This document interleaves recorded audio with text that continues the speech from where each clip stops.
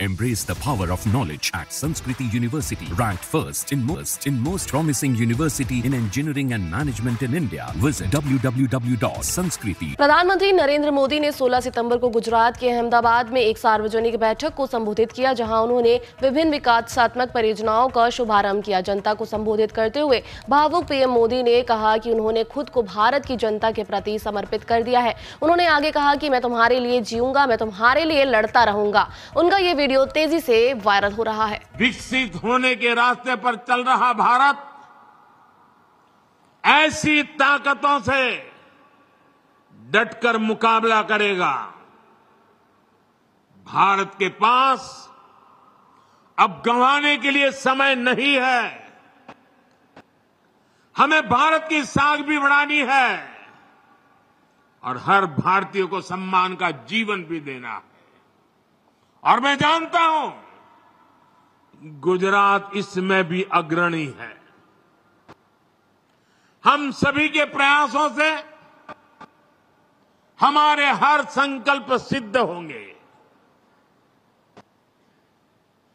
आज आप जिस उमंग के उत्साह के साथ आशीर्वाद दे रहे हैं, मैं अब गुजरात से नई ऊर्जा लेकर के आगे बढ़ूँगा।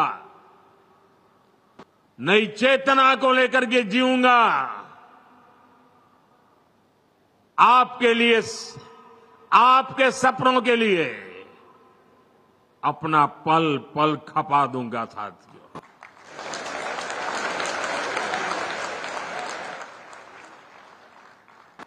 आपका कल्याण, आपके जीवन की सफलता, आपके सपनों को साकार करना।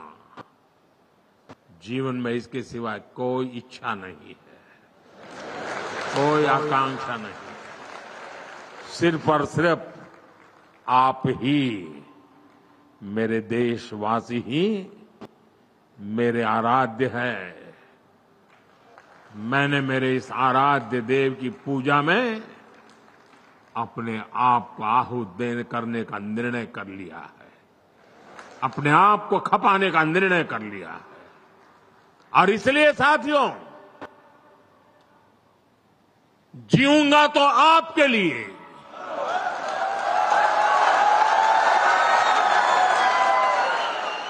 जूझता रहूँगा तो आपके लिए। जी जान से खपता रहूँगा तो आपके लिए। आप मुझे आशीर्वाद दें। करोड़ों करोड़ों देशवासियों के आशीर्वाद से, एक नए आत्मविश्वास के साथ, नए उमंग और नए हौसले के साथ,